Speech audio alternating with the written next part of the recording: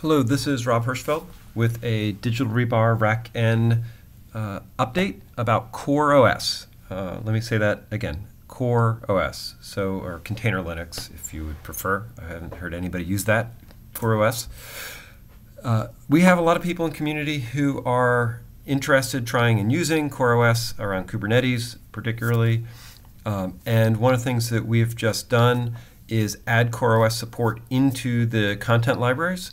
Uh, this is in the RackN content uh, at this time. It's a standalone library. It lets you boot provision uh, CoreOS. Uh, it also takes advantage, if you want, of our kexec functionality. And I'm going to demo that for you uh, and show you basically where to get going. If you're interested in, in playing along with this, you can easily uh, do exactly the same thing um, using our uh, CoreOS. There's a CoreOS content set. It is tip only right now because this is still new stuff.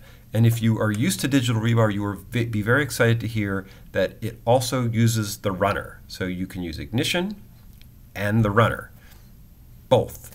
Uh, and I'm going to show you all of that um, and, and how that works. So I've, I've downloaded CoreOS. I have, as part of this, uh, it's going to create a CoreOS boot env, boot environment. That CoreOS boot environment uh, is going to require an ISO, so you need to download the ISO from, from the link here and then upload it into the file system. You can do that from the CLI, or you can do it from um, by downloading the and then uploading it into the files list. Sorry, the ISOs list, the boot ISOs.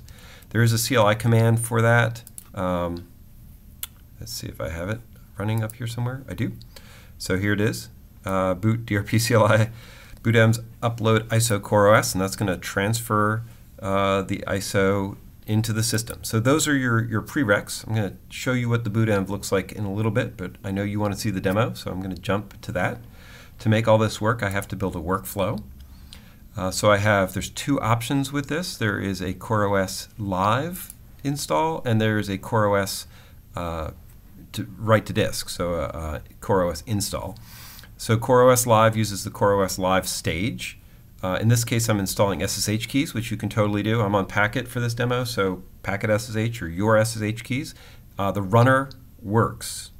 Let me reinforce that. The runner works. So you can just run stages uh, if you want, in this case, installing SSH keys. So if you need to, you can use Ansible. I know a lot of people do that um, against your CoreOS systems, uh, sort of the anti-pattern for CoreOS, but you can do it, or you can use our runner, or you can use ignition files. It is up to you. Uh, and then this goes into a live wait, so the system's still running. If you look at the CoreOS install, which I'm not going to demo, I'll leave that as an exercise for the reader. You need to do CoreOS install, finish the install, then whatever steps you want, and then complete. Um, so pretty straightforward from those those uh, perspectives. If you're in the CoreOS install, CoreOS Live is going to do most of the work, um, and it's going to um, uh, basically set up the, this boot environment, uh, and that's about it. It's just switching you to the CoreOS boot env, and then Digital Rebar does its magic to make things happen. Uh, the CoreOS boot environment, which I'll show you here. Actually, I'm going to wait build some suspense, actually show you the thing working, because that's what you want to see in a demo. So I've built a couple of machines. Uh, in this case, this is the first time they've booted, so CoreOS 0, CoreOS 1 um, are over here. Here's CoreOS 1, here's uh, Rob 1, it's my other machine, here's CoreOS 0. So they're just sitting in Sledgehammer. This is using a terminal display, so I can actually watch the boot process and, and see things happen. And what I've done is globally I've turned on kexec OK. It's a um, parameter setting. In CoreOS 1, I have set it off. So uh, CoreOS 0, if I come over here and I put it on the CoreOS live install process over here and jump to CoreOS 0, um, the runner is going to automatically pick the system up and start installing CoreOS. Uh, it can take a couple of seconds. There you go. And uh, since we're using kexec, it is literally, you can see at the bottom of the screen, we're starting the new kernel. It literally just started, uh, switched. So it switched from Sledgehammer directly into CoreOS. Uh, there is no reboot uh, time, so there's no BIOS posting, na na na na na. It is literally just going in, and it's up. Almost up. Um, And uh, since we install the runner, we actually it comes back, turns the machine on. So you'll see behind the scenes over here, uh, we, we think the machine's off because the runner hasn't checked in yet. As soon as the runner starts in CoreOS, uh, we'll actually get an event and show the machine is available. Uh, nice thing about that is then I can switch it back into uh, Sledgehammer just by switching it back into Sledgehammer. Uh, and that be it. Pretty darn fast. Um, it's hard to imagine a much faster, easier transition to CoreOS than what I just showed you. Uh, certainly excited. And in the behind the scenes, you can see we're now in CoreOS. You can say, oh, what happens if I don't do it with kexec? How much longer does it take? Uh, happy to show you that. Here's CoreOS. Just switched for the machine that doesn't have um, CoreOS, uh, the kexec in. In this case, it's going through, identifying it needs a reboot. System is now restarting, and um, we're going to have to go through the full BIOS posting, uh, DHCP phase, things like that. This is the power of, of kexec um, and, and how things can actually work. Um, and you can see the, the time difference is, is pretty drastic, right? We haven't even finished posting uh, the PXE boot process, let alone you know going through all the BIOS. Um, and the other system would already have been up and running. Uh, matter of fact, yeah. Now, now this is just going to do the same process, but slowly.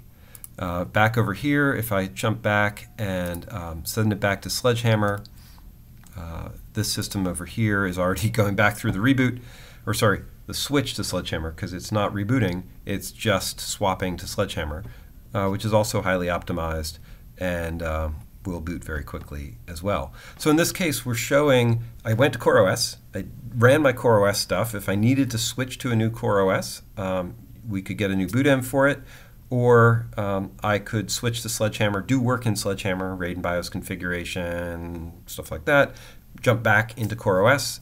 Um, and frankly, I can do that faster than uh, it takes it takes to um, reboot the the actual system. Nope, it's up, and uh, the reboot system is done too. Uh, so that's that's the, the demo. It's it's that simple to install, run CoreOS, jump between it, patch, uh, keep things going. So really moving down the immutable path. Um, if you install it to disk, uh, which you can do, it's just going to be the same thing but a little slower. Let me give you some background information here. Um, what this looks like, because I know if you're using CoreOS, you're like, but my ignition files, how do I do it? Uh, it's pretty straightforward. Uh, this is the bootenv for CoreOS, uh, which is typical to a digital rebar bootenv with uh, required parameters and boot parameters and things like that. Uh, and then it runs uh, a, degree, a certain degrees of, templ of templates the ignition template. So digital rebar is template rendering. Um, you don't not everything ends up on the machine. It's actually available as a web access thing, which is where the ignition file ends up.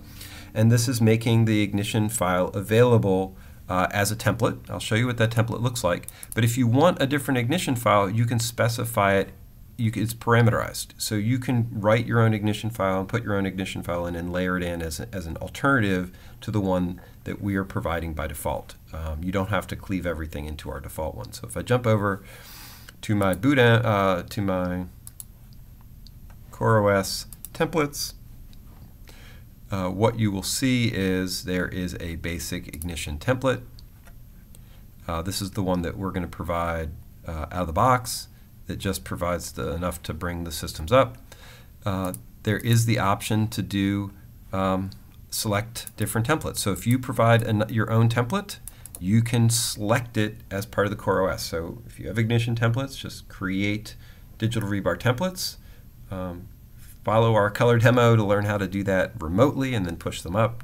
Um, so you're not editing on the endpoint, but in, in a code repo, repo somewhere. And that's it. Uh, it's going to let you override, create your own templates. Learn the digital rebar system so you can do uh, template injection and take information from the machine inventory, data, disk, networking, color of the sky, whatever you need, and you can add those into the template expansion so that the ignition files reflect data about your system, your inventory, how you want to operate. Um, and then one of the things that's really nice here is that you've, you're still in the digital rebar workflow systems.